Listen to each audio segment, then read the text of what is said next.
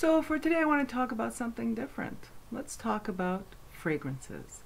Specifically, I've selected four fragrances from my perfume collection that embody um, a, bewi- a bewitching quality. They're bewitching. Um, they help you tap into your inner dark goddess. Um, very powerful fragrances that can also um, imbue your energy with power when you need it. And because um, because I need to say this, um, because this is what I think of fragrance, is that these are all unisex. As far as I'm concerned, I don't care what gender you are. These are bewitching. They're awesome, and I look forward to sharing them with you. So today I was thinking, you know what? Instead of doing um, a tarot video, I wanted, you know, it's Friday. I thought, okay, let's do Flashback Friday. And then when I thought flashback, I right away flashback to fragrance and vintage fragrance. And all four of these fragrances I'm going to feature today are still available. Some you you know a couple you're gonna have to like hunt for like but they're for sure on the internet you'll you'll find them you know if you live in America you could get them probably off Amazon for like nothing okay not nothing but you know what I'm saying. Um so what kind of fragrances fragrances are these? Um, for the most actually all four of them are Chypre. And Chypre is a classification of fragrance that was extremely popular in the 1970s and in my humble okay in my not so humble opinion the dead sexiest dead sexiest of the classifications and i'm talking about chypre uh, in its true form from the 1970s where you have the top note of bergamot and you have that oak moss and um, you have that juxtaposition of a bit of fruit at the top and then that really strong woody and resiny and then animalic kick. And animalic is exactly what it sounds like. Stuff that smells a little that has skank. In uh, in fragrance parlance, we say you know fragrances that all four of these definitely have skank. Even the ones that are newer formulations, the skank is still there. So let me begin. And I wanted to start with my probably my, one of my fa- not not the only, but I love the movie American Hustle. And one of my favorite, favorite quotes is by Jennifer Lawrence. Her character's name is Rosalind. And she's talking about a nail polish top coat. And um, to another woman. And she's, and this is, I actually just, you know, printed it off the internet so I would not mess it up. There's this top coat that you can get, that can you, you can only get from Switzerland. And I don't know what I'm going to do because I'm running out but I love the smell of it. Irving and I can't get enough of it. There's something. The top coat, it's like perfumy, but there's also something rotten.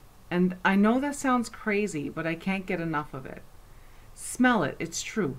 Historically, the best perfumes in the world, they're all laced with something nasty. It is true. Irving loves it. He can't get enough, enough of that stuff. Sweet and sour, rotten and delicious. And that is my favorite classification of fragrance. So I'm going to start with the first one. The first one is widely available still. You can still get the, this one in uh, drugstores here in Canada. I know the Shoppers Drug Mart, Pharmaprix in Quebec, um, carry it. It's on their web. It was it was on their website up until recently. I'm sure they still have it. And it's Paloma Picasso. And in America, you could get this easily either, you know, on the perfume, on the discount perfume websites. You could probably get this um, at Walgreens. I don't know. But you know what? I figured I'd do this kind of video in November because it's gearing up for Christmas. And often a lot of these um, fragrances make a comeback um, for Christmas. So this one is Paloma Picasso. And I have the little black bottle, but also the same formulation also comes where the, in a larger bottle um, where the center is clear glass. So it's a Chypre fragrance for women and it was launched in 1985. The nose behind this fragrance is Cre- Création Aromatique. Top notes are hyacinth, ylang ylang, bergamot, angelica, rose, and lemon. So there you have like that nice uh, civilized ladylike floral top notes.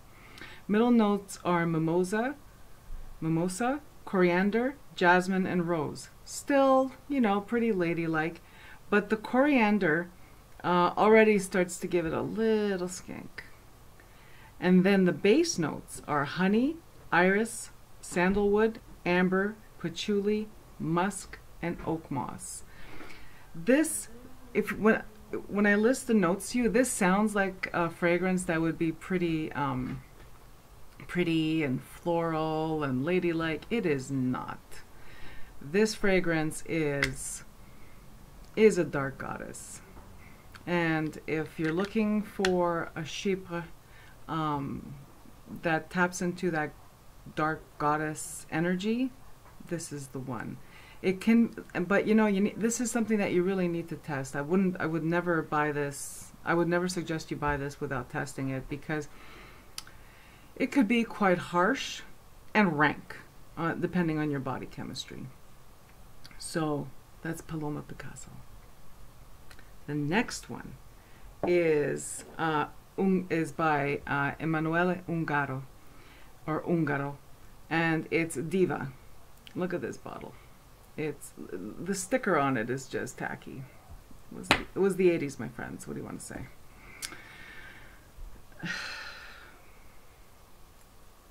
So I'll read. So just like I did for Paloma Picasso, I'll read what I got off Fragrantica. I think it's Fragrantica, Fragrantica.com or net. It doesn't matter. Do a Google search for Fragrantica. I'll put the link in the box below. Don't worry. Just let's let's get through this because this fragrance. This is just like this one. Oh yeah, I probably should have mentioned with this one. This one, a little goes a long way. Do not overspray this, you'll make yourself sick. This one, do not. This one is also extremely strong. And it's it's a fragrance that revolves around rose. So um, if this this is like your dark goddess in terms of like this is Kali. This is Kali the destroyer. Love it. Okay. This is a more of a different kind of thing. Um, this this is um, this is a quite quite a sensual fragrance. So this one you could you know this one could be you could pull this off if you're someone who has um, you could wear this to work is what I'm trying to say provided of course that you work in an environment that's not scent free. So if you're some if you're someone who dresses in black and you have a position of authority, yeah. You know who I'm talking to. I'm talking to you. All right. Back to Diva. Un Ungaro's first perfume is dedicated, or Ungaro, depending you know, depending on your pronunciation, where you're from, is uh, his first perfume dedicated to women. The word diva carries an association with prima donna and has the Italian meaning of goddess. Diva is a classic perfume for women and its composition is built around rose, Ungaro symbol. The bottle imitates curves of the female body, which is again one of the Ungaro's idols. Now, in the 80s, the magazine articles, like the magazine ad copy, had uh, an uh, Ungaro is a fashion designer, and he um, there was a dress. So Diva was um, the whole ad copy was this white dress that had this kind of pattern to it. The opening is classic floral with a citrusy note. So see, very much like our lady friend, our, our um, lady friend. Very much like P Paloma Picasso.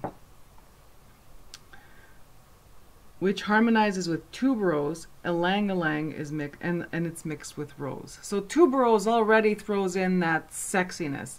Tuberose is um, very um, a very fleshy scented flower. It could smell, it kind of smells like gardenia and bubblegum and warm skin all at the same time. where was I? The sweet and sensual finale is reached by the notes of vanilla, sandalwood, and iris. Again, these notes sound very mild. They sound very um, approachable. This one is absolutely suffocating, so be careful. I'm saying one spritz smeared everywhere. You know what I mean? It's like just be careful. Do not wear this to work. Do not spritz in this area because it'll make you sick to your stomach.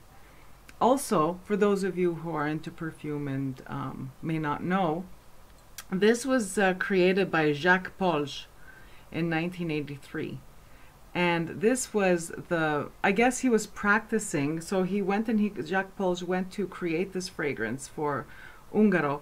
And he was practicing because this is kind of a deconstructed um, i think the best way i could it's a deconstructed coco by chanel so i'm talking about coco the original not coco mademoiselle that that that's sold you know that's current that's the modern one i'm talking about vintage coco the one with the black label on the bottle. Not Coco Noir, which is nothing noir about it. I'm talking about the one from 1985. So this is a deconstructed Coco. It's um, Coco is smooth, sophisticated, warm and inviting. This this is bristly. This is the same fragrance, but it can be a little off-putting. Like me. Anyway. So that was Diva by Ungaro. This one, you can, this one I've seen it on eBay, I've seen it on, on Amazon, I've seen it on the perfume sites. Um, this one is no longer in production. Um, but you could potentially score this on the internet. So what you would you would have effectively be getting like a, a vintage bottle. Um, I don't know when they stopped production on this. Um, but like I said, this is like no longer in production, but still you can find it on the internet. All right. The next one. So diva, Italian word for goddess. The next one is like it hits you over the head with its uh, with its name, and I freaking love this. Now I used to have the vintage and used it up, and there is and this is a current formulation that is still available by Lancome, and this is the Magie Noire. And Magie Noire is of all the ones, even even beyond Paloma Picasso, this is the skankiest. There is something in this, even though it's an it's um, modern formulation, and um, there are regulations now in place that there's things that they can't that perfumers cannot use anymore um, because they either are highly allergic, uh, you know, high highly known to cause allergies, so highly allergenic, or they're uh, animal derived, such as uh, deer musk. Uh, oak moss is known to be like extremely uh, allergenic to people, and um, so oak moss is one of those uh, ingredients that um, I guess they're trying to figure out. You know, some some perfumers have figured out how to do like a really good um, synthetic uh, version of it to work in their fragrances. Others, other vintage fragrances did not survive reformulation at all. Anyway, but I'm not here to discuss that. I'm here to discuss bewitching fragrances. And Magie Noire, if you can get the vintage of Magie Noire, it's even skankier. This stuff is downright dirty. Um, well, means black magic in French, um, is a classic fragrance from the house of Lancôme. Magie Noire has a unique composition which, which doesn't follow the classical top note, middle note, and base note development. It resembles a figure eight. It opens and fully reveals its character while the direction of its development suddenly changes, and it starts to move in the opposite direction, ending where it started. It is one of the most bewitching oriental fragrances. This I agree with. The exotic bouquet starts with Bulgarian rose and black currant buds. At its heart, the jasmine flame burns, blended with ylang ylang, amber, and incense, among other notes. See, they don't even divulge the other notes. Um, Magie Noire was launched in 1978, and the nose behind this fragrance is Gérard Goupy. This, this is worth a sniff. This, um, head to your local department store, go to the Lancome counter, ask them if they have a, a tester for Magie Noire. You may have to, you may have to ask them for it. It's probably behind the counter, hidden somewhere, because you know, old lady perfume, which I totally take issue with the old lady perfume um, description, because frankly, you know what? In a few years, old ladies are going to smell like donuts because that's that's the fragrance they wore when they were young, right? So this, to me, is a whole other topic. I better just steer clear of it. Let's get back to Magie Noire. This, again, just like the other ones, very, very unisex. This one um, is extremely powerful. Again, this one is potent, considering that it is a modern formulation. It is extremely potent. A little bit goes a long way. Test before you buy. And for any fragrance, you spray it on your skin and you walk away at least half an hour. They say 20 minutes, like, you know, but no, no. At least half an hour, an hour. If it's haunting you hours later, then it's for you. But you need to you need to give it time to develop on your skin with your body chemistry. And body chemistry changes with hormones, age, you know what I mean? That's why something that maybe you wore in your 20s, you're not really enjoying anymore. Uh, because it's not just your body chemistry that changes. And this is something that no one ever mentions when they're talking about fragrance, is that it's not just your body chemistry that changes as you get older. Well, your sense of smell changes. Your tastes change. Um, you know what I mean? So it's, it's a little bit beyond just the body chemistry changing. So, Magie Noire by Lancome. Beautiful. And this one, I don't. Well, I mentioned like you know, I, I read what Fragrantica says. So this one also is a Chypre, and it starts out. It starts out. You think it's gonna be like a nice ladylike perfume, and then it just really does a 180. just like the description does a figure eight whatever but it does this 180 into this very animalic it's like you know it smells of wood and it smells animalic um, like that skank smell and it's dead sexy and um, try it oh right I should have mentioned this before so I purchased all these fragrances with my own money. I am not sponsored. No one has sent me anything to review. I am not, the, the this video is not sponsored. I'm just perfume obsessed. All right, there's my disclaimer. I should have like mentioned that at the start. Last but not least, to me, I love them all. Of course I do, right? Because I don't have anything. In my my my collection is um, very carefully curated, and I don't I don't have anything in my collection that I don't love and wear and um, can gush about, right? But this one, this one's iconic. This is American. So French, French, because the nose was French, Jacques Polge. I'm pretty sure. Attendez. Uh, French. Paloma Picasso. American. This is Halston. And this is this is the scent of Studio 54. I was born 10 at least at least 10 years 10 years too late to have experienced Studio 54 or that whole era of 70s. I was a child in the 70s.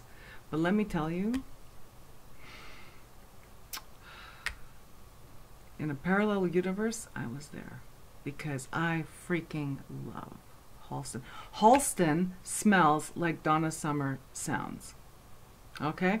When I spray Halston on, or I spray it in the air, I hear Donna Summer singing I Feel Love.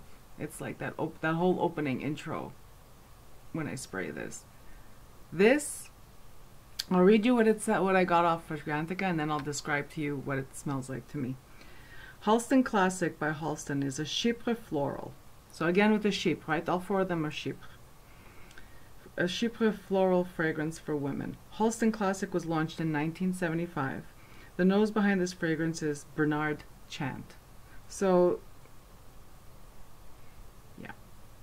Top notes are mint, melon, green leaves, peach, and bergamot. Now, I'm a person who um, loves peach scented fr fragrances that have peach as a note, but peach just on my body chemistry is just absolutely foul. Thankfully, there's not much in this one. Um, where was I? Middle notes are carnation, orris root, jasmine, marigold. Marigold. Okay, I'm gonna go back. I'll, re I'll read the. I'll, Ylang ylang, cedar, and rose. Base notes are sandalwood, amber, patchouli, musk, oak moss, vetiver, and incense. This is quite the cocktail, my friends. Now, if I were to describe it, what does it smell like? Seriously, it smells like oak moss. Um, of course, it's like on this on my skin, it develops, and I get and I get all these other facets. But straight up, uh, even, and this is, for those of you in the know, this is a modern formulation. Or what I mean is like, this is like the one that I, I got this only a few years ago. It was, um, it came in a, it came in a little set with, with, with the body cream. Um, if you look up, you know, if you look up Halston on the internet, you look up videos on YouTube, people will say that this is rank compared to the original, that you have to get the original. No, no, no, no, my friends current Halston or whatever Halston you can get is better than no Halston at all. And don't go drop hundreds of dollars on vintage perfume because if you don't know what you're doing, like, you know, especially you're buying it on the internet, first of all, don't spend hundreds of dollars on vintage perfume. It's ridiculous, right? Anyway, but I'm just saying this because I care about you because if because I'm the perfumes I'm sharing with you today, the fragrances I'm sharing with you today are still available in a current formulation that is decent, and this is one of them. All right, this one, this smells like I said, like disco music. It smells like Donna Summer. I smell, I feel love. That whole that whole intro and then the whole song. Um, it's a little it's it's a little fruity from you know, from the melon. The, it's a little bit, the melon's a little bit rotten. Remember that quote that, you know, I read to you at the beginning from American Hustle, right? It smells a little bit like garbage. Uh, it smells a little bit like, there's a little bit of that rotten melon. Um, marigold, if any of you have marigolds um, planted outside your homes, well, you know, marigold is, uh, it's, a, it's a little stinky. Uh, it's a, it's not exactly a flower known for. Um, it, it, it doesn't have an, an aroma like rose or gardenia. Well, gardenia is not a good example, but like rose or tuberose. Uh, marigold is uh, it's a little rank. Um, jasmine can be a little indolic, right? Uh, also, jasmine can smell a little animalic and um, Ylang can go there too, right? So this this is definitely a this smells like sweaty bodies dancing to very loud disco music. I'm pretty sure if you live in North America, Canada, United States, Christmas is coming up. Check your local drugstores for this guy. Usually it shows up in a little box set with um, either with some other fragrances, um, really inexpensive, and you know sometimes it shows up with the body lotion. Last time it showed up, um, mine is half almost halfway done. Last time it showed up, um, Natalia, if you're watching, I did buy backups of this because they were ten dollars for the kit. They were just blowing them out, so I got a couple of backups, but I'll be using this up. I do have backups of fragrances that I really love, but only the ones I actually wear regularly because, you know, I'm not going to have a backup. Um, something that's strong like this, I don't have backup of this. This, this, look how small this bottle is. And there's still enough of it. I'm not going to run out of this in my lifetime. This one, I'm never going to run out of this. But this, as you could see, I have backups. All right, so that's it for me. Um, I wanted to share four fragrances that I find are absolutely bewitching. Um, they help you tap into that inner witch. Um, this is like an inner dark goddess kind of thing, right? But these other ones are more like your inner, your inner witch. Um, this one has a very Freya kind of vibe to it. Not Venus, Freya. Um, this one, this one kind of straddles that whole Empress um, nurturing. It's almost, it's almost, almost motherly, almost. But there's, there's something in it that it's like a little bit more than that, right? It's, a bit sexier than that, right? This is not, this is not Nonna's fragrance unless Nonna's dead sexy, and that's her that's her personality. So that's it for me today in terms of this video. I might record another one. I don't know. Depends on whether I'm prepared and whether the light uh, cooperates. And why don't you, um, I'd like to invite you to uh, leave comments below if you have a fragrance that makes you feel witchy, that helps you tap into your inner dark goddess, that helps you tap, in, uh, uh tap into your inner uh, powerful earthy witch energy, please, by all means, share down below. I'd love to um, find out what it is. I'd love to hear what it is or read what it is. You know what I'm saying, right? Anyway, um, that's it for me. And I bid you all a beautiful day. Bye-bye.